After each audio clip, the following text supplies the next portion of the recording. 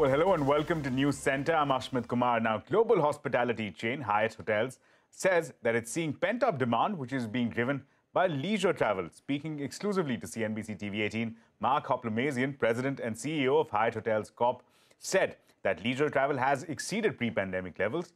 Highlighting the headwinds, uh, Mark added that high interest rates and remote working are impacting the hospitality sector. He further said that India's G20 presidency is a big opportunity for the hospitality sector. Leisure travel was clearly significantly higher than it was pre-pandemic, 20 to 30 percent higher. Okay. Um, group travel, that is corporate meetings, is um, approaching somewhere between 85 and 100 percent, depends on what market around the world you're in. Sure.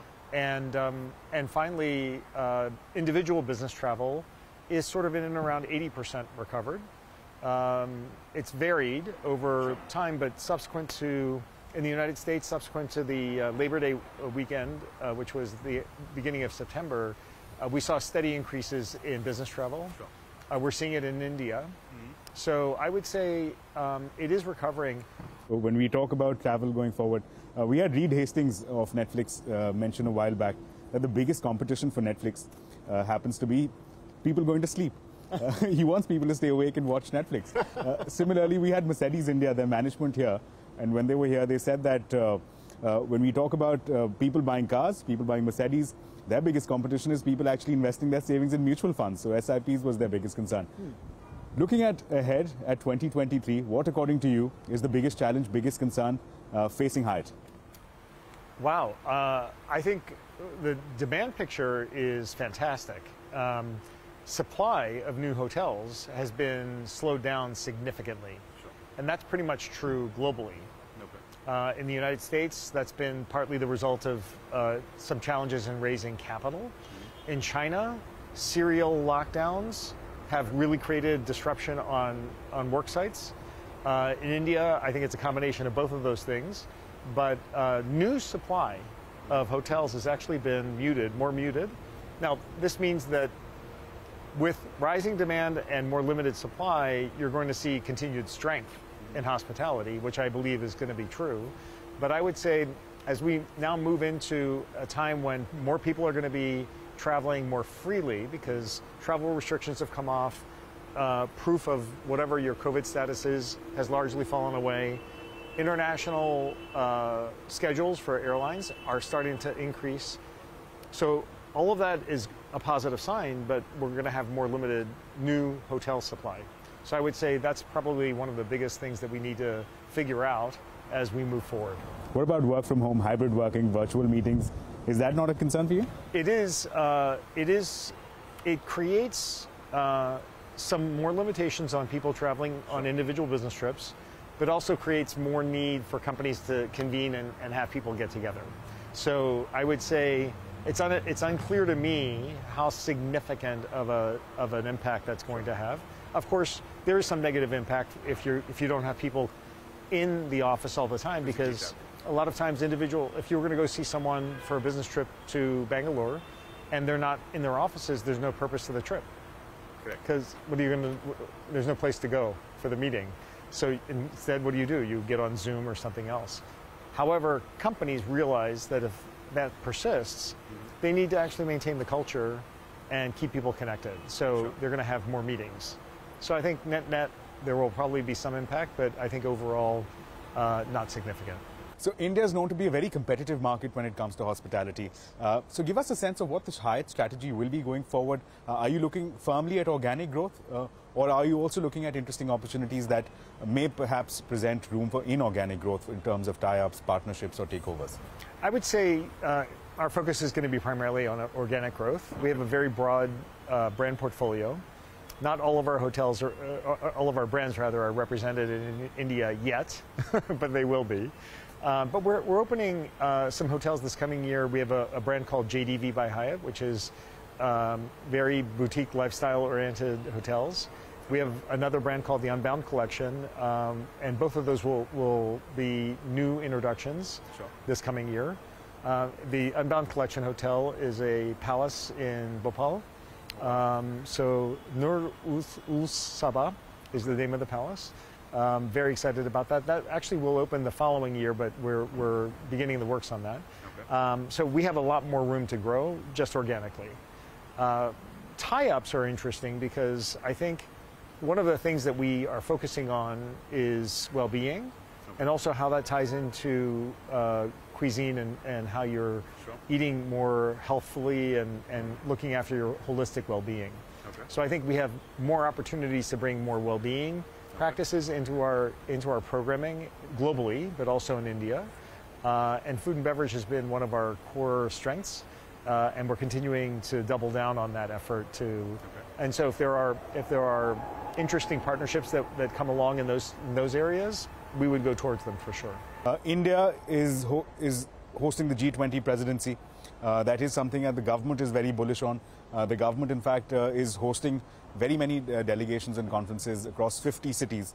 Uh, so give us a sense, is that an opportunity trigger for you? And if yes, are you looking at perhaps banking on this in the form of perhaps ties up with the government or in terms of hosting the wide population of delegates, scholars, corporates, etc., who will be traveling?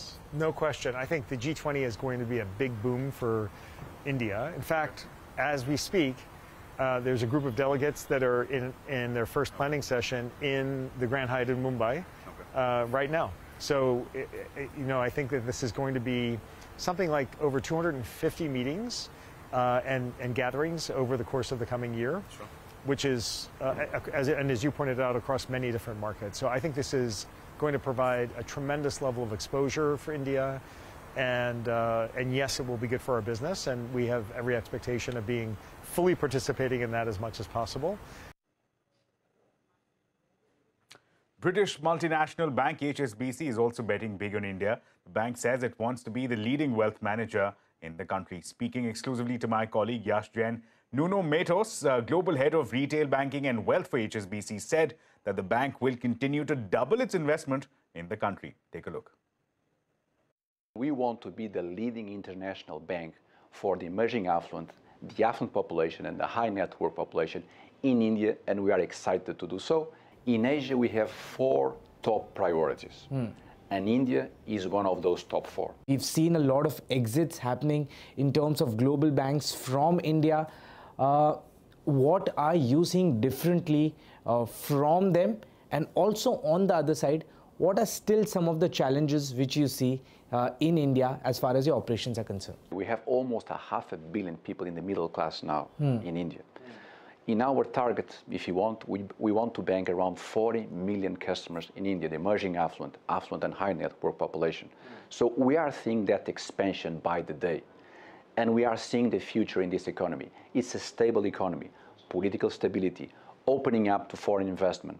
All things are lining up to be, to be, if you want, one of our major, major bets.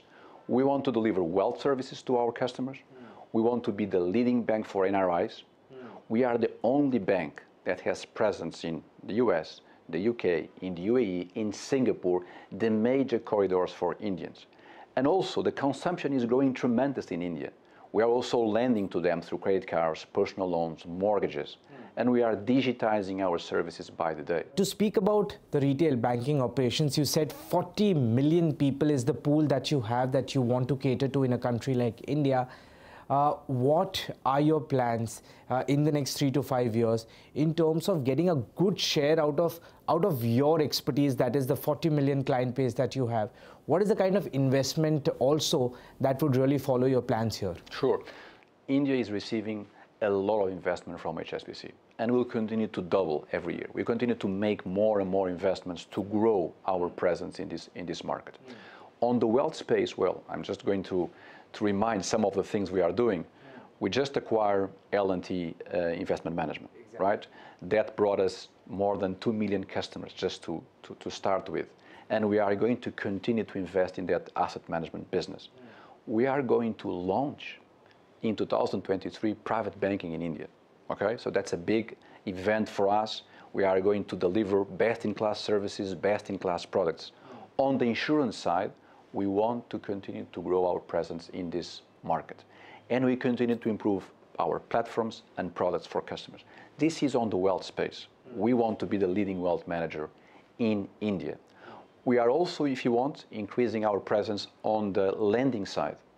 We continue to improve our credit card business, our personal loan business, and our mortgage production continues to grow by the day.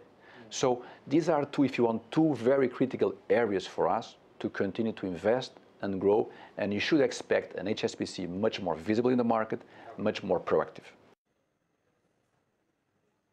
Well, with that, time now to slip into a very short break, but coming up on the other side, an exclusive conversation with Uber Senior Vice President Tony West. That's up on the other side. Welcome back now. Uber sees India as an important market with an enormous opportunity for further penetration. Speaking exclusively to me, the company's Senior Vice President and Chief Legal Officer Tony West said that they are the largest employer in the country after the Indian Army and Indian Railways and have unlocked 44,600 crore rupees of economic value. West added that Uber is open to providing social security benefits to drivers in India, but cautions that it should not be hard coded into the law. Here's a slice of that conversation. I would say the, the biggest competition is seizing the opportunity. Um, when you think about the, the India market for us, which is an incredibly important market. We're already in over 120 cities. We have over 3 million driver partners uh, on the platform. Uh, we've been able to serve and had the privilege to serve over 100 million riders since 2013. Um, it's an enormous, enormous market uh, opportunity, um, and yet uh, only about 0.5% of the, the country has been penetrated. Mm-hmm. Uh, it's really when so when you think about uh, the enormity of, of the opportunity yet to come, uh, how we are able to do that, how we're able to make sure that there are great product market fits uh, in this market, how we're able to ensure that we continue to innovate, that I think is our greatest competition. That's interesting to hear. But before we dive into what uh, the Indian market and how it's done for you and what your plans are for the future, uh, let me ask you about a couple of broader uh, global questions. Uh, I think it's, I'm talking about the R word.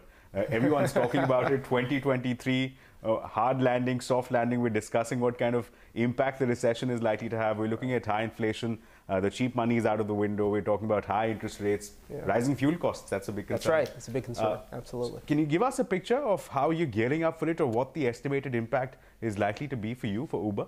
Well, I'll tell you, um, the business remains quite strong, and, and we're fortunate. Uh, globally, the business remains strong. When you when you look at um, the United States, when you look at Europe, we're certainly um, you know, trying to make sure we're well suited to go through uh, any, any difficulty we might see on the economic front, on the macro front. Um, it's interesting, of course, notwithstanding some of the, the, the, clear macro hurdles you, you discussed, when you look at the Indian economy, um, in, in, the, in the global context, you're talking about 6% GDP. I mean, that's, that's pretty much as robust as it gets uh, these days. And I think that has a lot to do with the fact that here you've got uh, a growing economy with great opportunity, you've got great digital growth, you've got a great uh, workforce here, uh, young people who want to be engaged in writing the next chapter of the Indian success story. Um, and we want to be a part of that.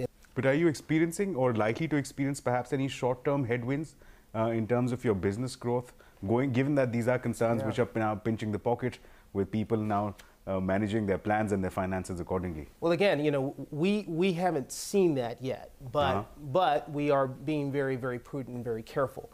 Um, you know, you may have heard that our own CEO, when asked about layoffs, has you know taken that off the table at this point and has said, as long as we continue to execute in the marketplace, as long as we're continuing to make sure we're being very prudent about the way we we allocate our, our capital, uh, and as long as we remain focused on, uh, on uh, EBITDA uh, progression, on profitability, on free cash flow positivity, mm-hmm. um, and we continue to see the results that we're seeing, um, then I think we're going to be well suited to withstand any kind of uh, macro environment that we may encounter.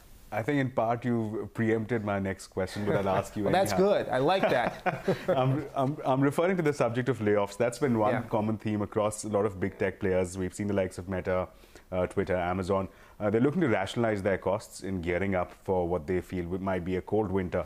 Uh, just your sense uh, as to what gives you that confidence that we haven't seen any layoffs yet, but are we likely to experience them in the future? And yeah. if not, at least a, a hiring cap or a hiring freeze, maybe? Is that something that's likely? Well, so, you know, one of the, the things that happened during the pandemic is, you know, a, a lot of companies hired up during mm-hmm. the pandemic. We actually did the opposite. Mm-hmm. We, we went through a very painful period where we had some significant layoffs mm-hmm. around the world uh, at Uber.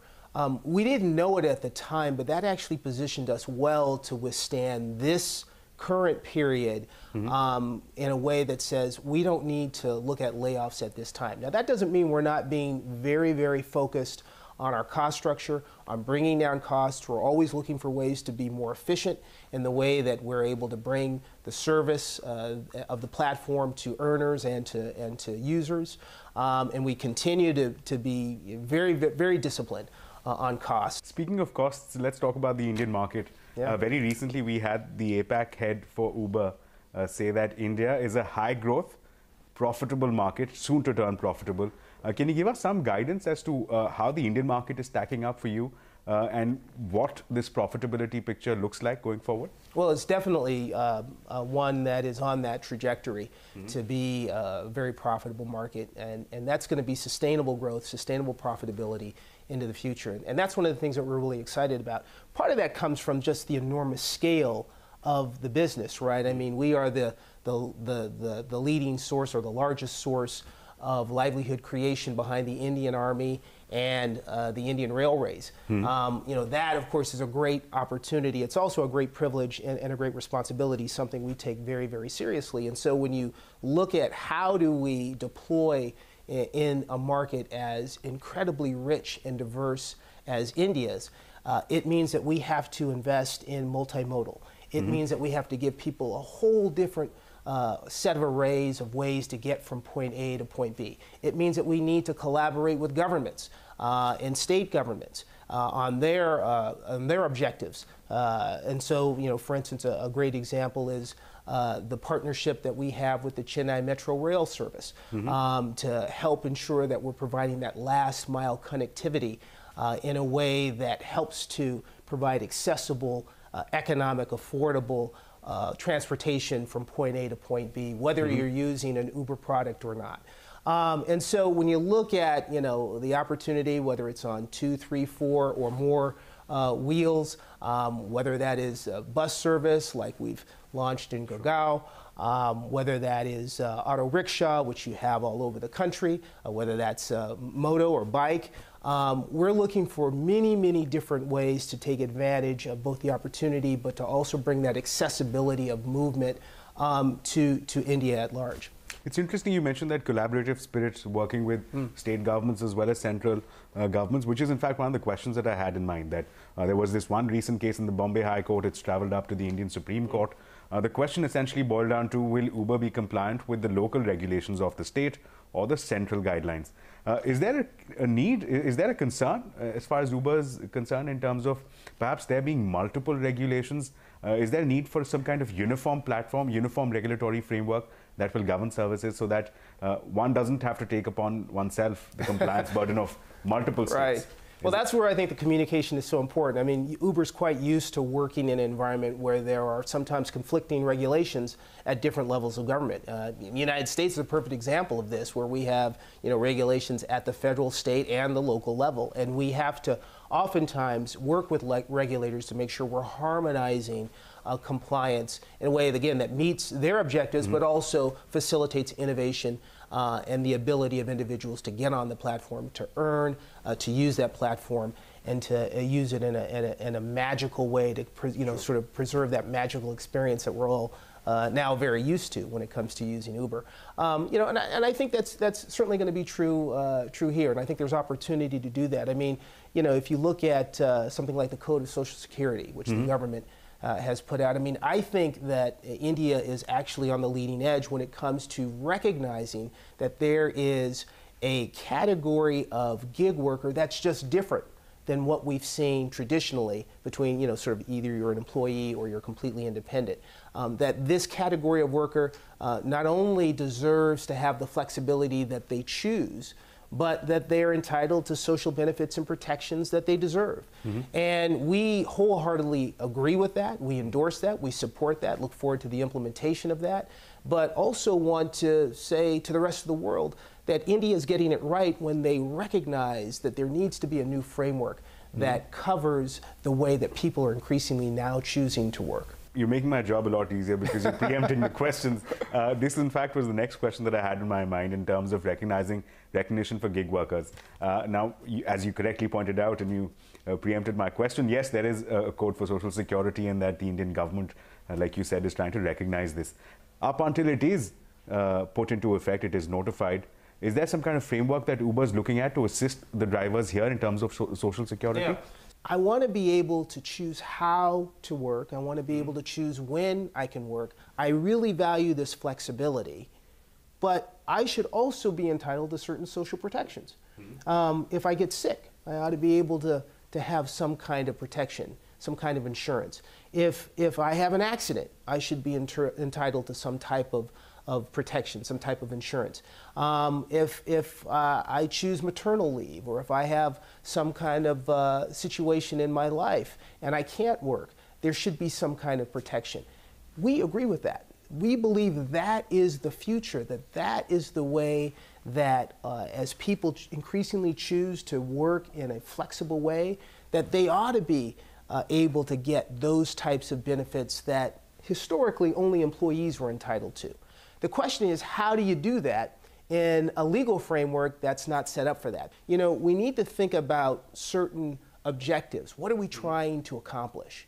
Um, let's create a framework that is focused on principles, that's focused on objectives, that doesn't try to be too prescriptive, mm-hmm. but allows innovation to continue to, to change and allows uh, uh, uh, companies to continue to grow, and, and, sure. and as long as they are meeting these principles, as long as they are meeting these objectives.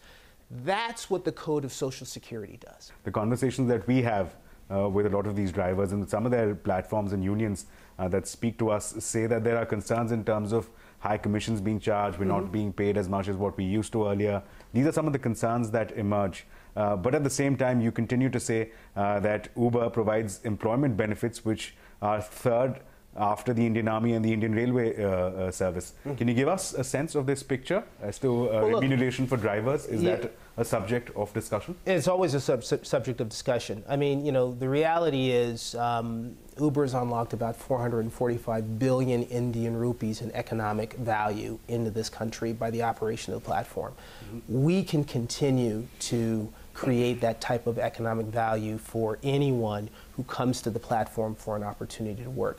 Um, how we continue to do that is making sure, that, again, that we're allowed to innovate uh, the technology in ways that make rides more efficient, um, that makes matching more efficient, mm-hmm. that takes into concern some of the pain points that drivers have identified for us, that riders have identified for us. Um, so all of that goes into the way we think about the operation of the platform and how we can continue to improve it. Well, with that, it's a wrap on this edition of Newscentre. News and updates continue right here on CNBC TV 18. Stay tuned.